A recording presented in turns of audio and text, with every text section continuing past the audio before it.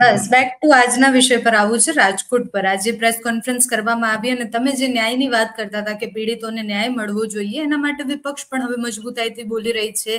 ન્યાય યાત્રા પણ કરવાના છે. શું લાગે છે કે એ પડઘાનું કઈ અસર એ પડઘાની કઈ અસર થશે? કારણ કે કેટલાય સમયથી પીડિતોના ન્યાય માટે તો વિપક્ષ લડી રહી છે અને એના પછી તો સીએમએ પણ બધા પીડિતોને બોલાયા હતા વાત કરવા માટે. પીડિતો ખુશ નથી એનાથી, પણ ન્યાય યાત્રા કરવાની છે, એનાથી કઈ અસર થશે ખરી? જો સરકાર હજી આને આપણી વાતને ખરાબ રીતે ન લે તો હું તમને કહું કે સો ટકા અસર થાય એમ લાગે છે. એ એટલા માટે બેન કેટલું જુઓ શાકમાં કોળું જાય ને એના જેવું છે અત્યારે સરકારમાં પ્રોબ્લેમ બહુ મોટો છે. એની થિંક ટેન્ક યા તો કામ નથી કરતી યા થિંક ટેન્કને સાઈડમાં મૂકી દેવામાં આવી છે. બેમાંથી એક છે. નહીતર આવું ભાજપમાં બને નહીં. આટલું મોટું વેક્યુમ હોય આ તો બુદ્ધિશાળી ભયંકર બુદ્ધિશાળી પાર્ટી છે. સમજી લ્યો. વેક્યુમ કેવું છે તમને કહું. તમે શું આપણને અત્યારે જે સાંભળી રહ્યા છે એ બધા ચોકી ઉઠશે. હાલો આવું હોય તમે લખી રાખજો. કેવું થયું છે અહીંથી ભાવના ભાનુબેન બાબરિયા અમારા કેબિનેટ મિનિસ્ટર એ અહીંથી જે પીડિતો છે ટીઆરપી કાંડના, એ પીડિતો જેટલા આવ્યા એને લઈને ગાંધીનગર ગયા, મુખ્યમંત્રીને મળવા. ઓકે હવે તમે જુઓ, કલ્પનાતીત ઘટના કહું છું. એણે મેમોરેન્ડમ એટલે કે જે આવેદન પત્ર આ લોકોની પાસેથી લીધું ભાઈ તમારી શું ડિમાન્ડ છે તે ઓલા લોકો એને આવેદન પત્ર આપ્યું કે આ બારથી પંદર અમારા મુદ્દા છે, એ જો સોલ્વ થઈ જાય તો અમારે સરકાર સામે કોઈ વાંધો નથી. માનનીય મંત્રીશ્રીને શું હતું? કે હું મુખ્યમંત્રીશ્રી સમક્ષ આને લઈ જાઉં અને મુખ્યમંત્રીશ્રી એને આશ્વાસન આપી દે એટલે વાત ખતમ થઈ જશે. હવે વેક્યુમ શું છે તમને કહું. ખરેખર તો ભાનુબેન બાબરિયાએ એને પોતે અથવા તો કોઈ થિંક ટેન્ક જેને કહેવામાં આવતું એને કહેવાય કે આ મેમોરેન્ડમ જે છે એ વાંચો તો એ કઈ બરાબર છે કે કેમ? મેમોરેન્ડમમાં એવા મુદ્દા છે કે સરકારે ખાલી ભલે આશ્વાસન આપ્યું જો રાજ્યના મુખિયા છે મુખ્યમંત્રી છે એ એનું આશ્વાસન પણ કોઈ દિવસ અવગણી શકાય એવું ન હોવું જોઈએ. કમસે કમ એની બોલનો કોઈ તોલ હોવો જોઈએ. બોલની કોઈ એની કિંમત હોવી જોઈએ. કારણ કે મુખ્યમંત્રી છે. આપણી જેમ સામાન્ય વ્યક્તિ નથી.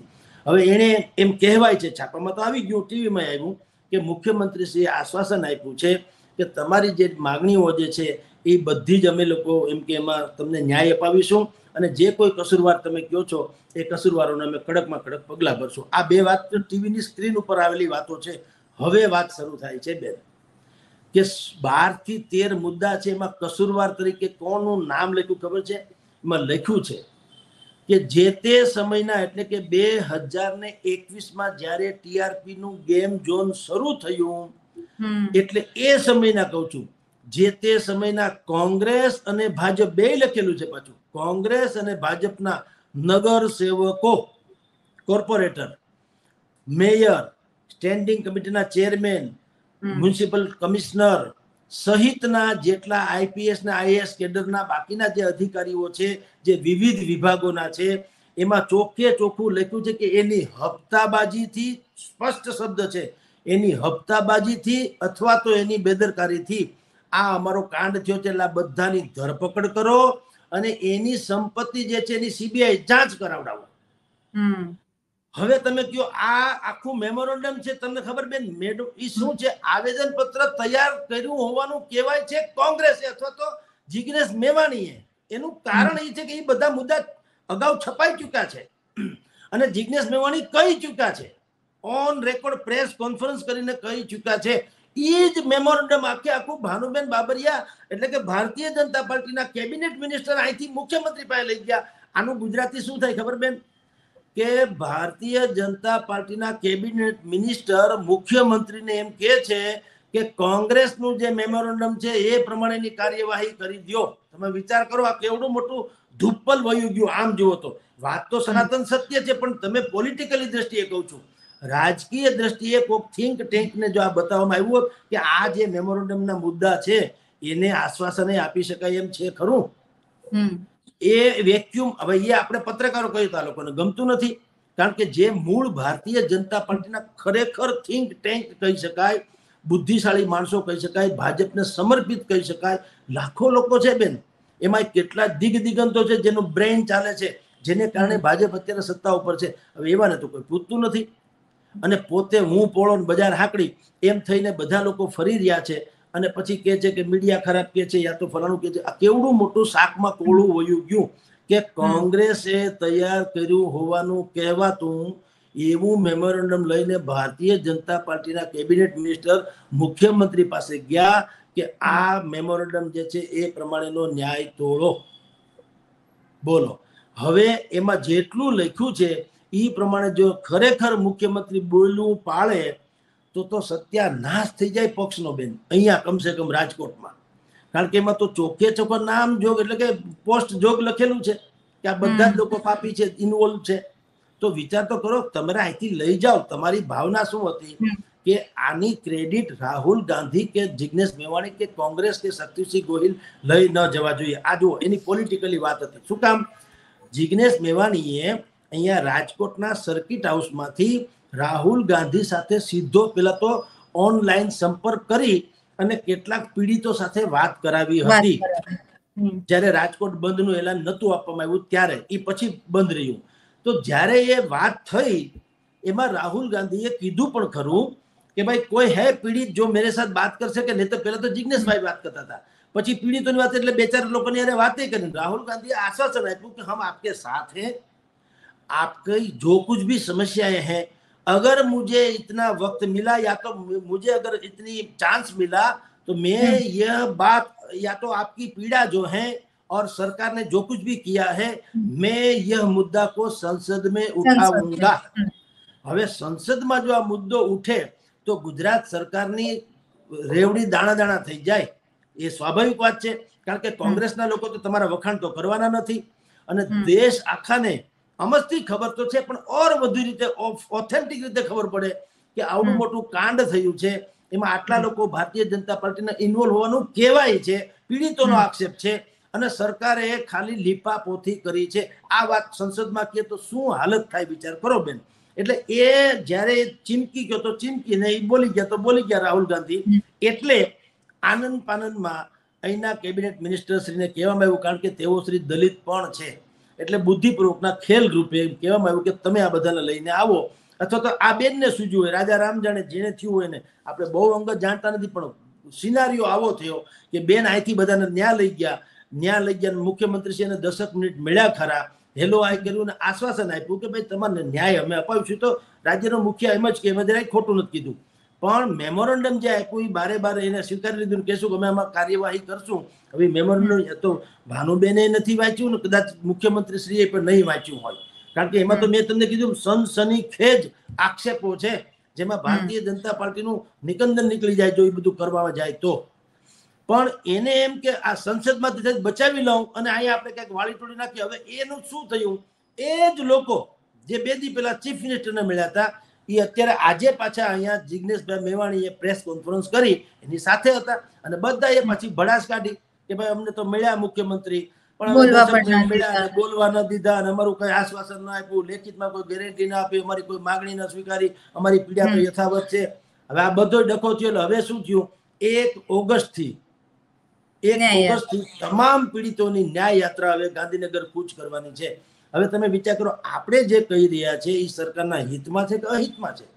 અમે તો ચોખ્ખું કહીએ છીએ કે ભાઈ સાહેબ તમારે ત્યાં શાકમાં કોળું જાય છે કોઈને ટપો પડતો નથી અને કા જેને ટપો પડે ને તમે કઈ સહકાર લેતા નથી. તમારે એટલે ભારતીય જનતા પાર્ટીની થિંક ટેન્કની વાત કરું છું આપણા જેવાની નહીં. તો તમે તમે જેના ઉપર તમને ભરોસો હોય એવા લોકોને પૂછી લો ભાઈ હવે આ ડખો ક્યાં અને છે એ છે જ સાહેબ. એમાં કાંઈ તમે ઢાંક્યું નહીં ઢંકાય, પણ એની કાંઈક રસ્તો કાઢવા વાળા જે તમારી પાસે દલિત નેતાઓ છે, મંત્રીઓ છે, બીજા બધા વર્ગના પણ છે, જે પીડિતો છે, એના વર્ગના મંત્રીઓ શોધી કાઢો. અને આપો એને વળતર, હવે તમે દીકરા દીકરી કોઈને પાછા નથી આપી શકવાના, આપણે સમજીએ. એ ઘટના બની ગઈ કરુણાંતિકા. પણ હવે એને આશ્વાસન મળે, ચાર લાખ રૂપિયા પકડાવીને બેસી જાય એમ થોડા કોઈ ચાર લાખ રૂપિયા કોઈ લાશના ભાવ હોતા હશે? અને અમે એમ નથી પચાસ લાખથી પણ સંતોષ થશે. પણ કમસે કમ તમારી ફરજ બને કે એ બાળક જે આ અકાળે મૃત્યુને ભેટી ગયું છે. બે ઘડી માની લો પરમાત્માએ જો એમને એને સજીવન રાખ્યો હોત તો મોટો થઈને એના પરિવારને કેટલો ઉપયોગી થઈ શક્યો હોત કે ભણી ગણીને ક્યાં પહોંચ્યો. એવું ગણતરી કરીને તમારે એને મદદ હારી પેટ આપવી જોઈએ ભલામણા. અને તમારા ખીચામાંથી ક્યાં દેવી? આપણે તેને ઉપયોગ અને એક ઉપાય એ સૂચવો હતો કે આ જે શરણ આ જે ટીઆરપી ગેમ ઝોન જે છે સત્તરસો આરોપી ચોરસ હા એ વેચી નાખો એ પાપ એને પાપ એના પાઇપે તો થયું છે. તો વેચ ફૂકી મારો ફૂકી મારો ને એના જે પૈસા આવી આ બિચારા જે લોકો પીડિતો છે એને વેચી દો સરખા ભાગે ભલે બે બે પાંચ પાંચ કરોડ રૂપિયા આવે. તો શું તમારે ક્યાં તમારે કીધે કઈ તમારા પાઇપે તો મર્યું છે બધું સત્યાનાશ થયું છે. તો બે પાંચ કરોડે કોઈ માણસનો ભાવ ન હોઈ શકે. પણ એટલીસ્ટ એક આશ્વાસન તો છે. આપણને તરસ લાગી હોય બેન રણમાં હાલ્યા જતા હોય અથવા તો એક ઉજ્જડ જમીનમાં હાલ્યા જતા હોય અને તરસ લાગે તો પાણી ન હોય તો કઈ નહીં પણ એક ઝાડવાનો છાંયો હોય તો તમને એમ તો ઘડીક સાતા તો વળે કારણ કે ઘણા બધા પરિવાર એવા છે કે જેમની સ્થિતિ ખરાબ છે. બધા એવા નથી પણ ઘણા બધા પરિવાર એવા છે. બિલકુલ બેન એક ધોબી બિચારો એક બાળક જે ઓફ થઈ ગયો એના મામા સાંભળ્યું છે એ પ્રમાણે કહું છું લગભગ એના મામી ઓફ થઈ ગયા એટલે મામાએ એ છોકરાને અહીંયા લઈ આવ્યા કે ભાઈ તું મને મદદ કર. હા મને મદદ કર. તું ભણ હું તને ભણાવું. તો કંઈક આપણે આગળ વધીએ વગેરે. હવે એ બાળક પહેલી વખત આ બધું લુગડા બુગડા જે લોકોને ઇસ્ત્રી ટાઈટ કરી દેવા લાવવાનું કામ બતાવી અને પહેલી વખત બિચારાને પાંચ રૂપિયા દસ જે એને પૈસા આવ્યા હશે એને એમ થયું કે હું ફરવા જાઉં અને ટીઆરપી ગેમ ઝોનમાં ફરવા ગયો ત્યાં એનો ભોગ બની ગયો. તમે વિચાર કરો આવા તો કેટલાય પરિવારો છે અને એ આર્થિક જવા દો બેન કેટલાક પરિવારો તો એવા છે કે એનો વંશ નીકળી ગયો. એકનો એક દીકરો હતો ને એ ગુજરી જાય એટલે વાત પૂરી થઈ ગઈ. જવાહરલાલ નહેરુ જે છે એને દીકરી ઇન્દિરા ગાંધીની એના દીકરા રાહુલ ગાંધીને આપણે રાજીવ ગાંધી રાહુલ ગાંધી છે. જવાહરલાલ નહેરુના તો કોઈ દીકરા છે નહીં. ત્યાં સ્ટોપ વાત થઈ ગઈ પૂરી કારણ કે એને કોઈ દીકરો નહોતો. એમ જેનો વંશ નથી એટલે હવે એ માણસને માટે તો આખી આખે જે વડલો આપણે ગામડામાં બોલીએ છીએ ને વડલો દોરે છે પરિવારનો. એમાં તો વાત પૂરી થઈ ગઈ. એને તો આખો વંશ નીકળી ગયો. આ કઈ જેવી તેવી કરુણાંતિકા છે? અને સરકારમાં મને તો એક સમજાતું બેન એ નથી કે તમને અમારા વેણ કડવા લાગે છે તો આ લોકોના જીવન કડવા થઈ ગયા એમાં તમને કેમ કાંઈ નથી લાગતું? કે કઈ જેવું તેવું છે? તમારે પછી મેં એક એક્ઝામ્પલ એ આપ્યું હતું. કે ભાઈ દરેક અચ્છા એક્ઝામ્પલ શું આપ્યું હતું? કે સીએમ ભૂપેન્દ્રભાઈ પટેલ એના દીકરાની તબિયત નાદુરસ્ત થઈ તો આખે આખું ગુજરાતનું રજવાડું મૂકીને તમે દીકરાની સેવામાં ગયા હતા કે નતા ગયા હોસ્પિટલમાં? ગયા હતા બેઠા અઠવાડિયું રહ્યા. દીકરો ભગવાન દયાથી સારો થઈ ગયો. તો જવું જોઈએ. એમાં પછી આપણે નથી કહેતા કે શું કામ ગયા? માવતર હોય કે પુત્ર હોય દરેકે અરસપરસ આ બધું કરવું જ જોઈએ. એનું નામ તો જીવન છે. જીવન કઈ રોબોટ થોડા છીએ આપણે? એલિયન્સ છીએ? અથવા તો આર્ટિફિશિયલ ઇન્ટેલિજન્સ છીએ. આપણે સજીવ માણસ છીએ. પરસ્પર સ્નેહ પ્રેમ લાગણી કરુણા એ છે એનું તો જીવન છે. બાકી શેનો મતલબ છે સમજી લો મહાણમાં મકાનમાં ફેર કાંઈ નથી. ત્યાંય પંખા છે લાઇટ છે ત્યાંય દિવાલો છે ત્યાંય બધી વ્યવસ્થા છે. ફેર એટલો છે કે અહીંયા માણસ રહે છે ને ત્યાં મળદા રહે છે. આટલો ફેર છે. તો મેં કીધું ચીફ મિનિસ્ટર સાહેબ ગયા એના દીકરાને હોસ્પિટલમાં સેવા કરવા. સારી વાત છે. તો ભગવાનની કૃપાથી સારા થઈ ગયા. ભગવાન એને દીર્ઘાયુ આપે. પણ જેમ તમને તમારા દીકરા વાલા થયા એમ આ લોકોને ન હોય સાહેબ. તો તમે તો મુખ્યમંત્રી છો એટલે કે માવતર ગણાવો રાજ્યના. ગુજરાતનો નાથ એ તો આપણો શબ્દ છે કનૈયાલાલ મુનશી વગેરે આપેલો. પણ આમ તમે જુઓ તો અગાઉના જમાનામાં નૈતિકતાની ચરમસીમાવાળી જ્યારે રાજનીતિ હાલતી હતી ત્યારે સરકારને માટે શબ્દ વપરાતો હતો માવતર. એટલે કે જેનું જિસકા કોઈ નહીં ઉસકા ખુદા હોતા હૈ એની જેમ જેનું કોઈ ન હોય એનું સરકાર માય બાપ હોય તો તમે માવતર છો તમને આ છોકરામાં કરુણા કેમ ન જાગી? કે ભાઈ ચાર લાખ તો ખાલી સરકારની એક મર્યાદા છે એટલે અમે ચાર લાખ આપીએ છીએ આ અંતિમ નહીં માનતા. તમે ફંડ ફાળો કરો. તમે પાર્ટી ફંડ ઉઘરાવો છો આ આ કરુણાનું ફંડ ન ઉઘરાવી શકો. અને કરોડો રૂપિયા ના આપી શકો ને મેં કીધું એમ ટીઆરપી ગેમ ઝોન તો છે વેચી ફૂકી મારો આવા અને એ ઈ ગેમ ઝોન છોડો એના કારણે અથવા તો આવા પાપના કારણે જે સાગઠિયા અત્યારે પકડા નહીં તો એક ખાલી મગતરું છે પણ એક સાગઠિયા પાસે પણ હજાર બે હજાર કરોડની સંપત્તિ હોવાનું કહેવાય છે. તો એના સિવાયના જેટલા પણ એના આકાઓ છે એ બધા પાસે તો કેટલી હસી આપણે હવે કલ્પના કરવી રહી ને?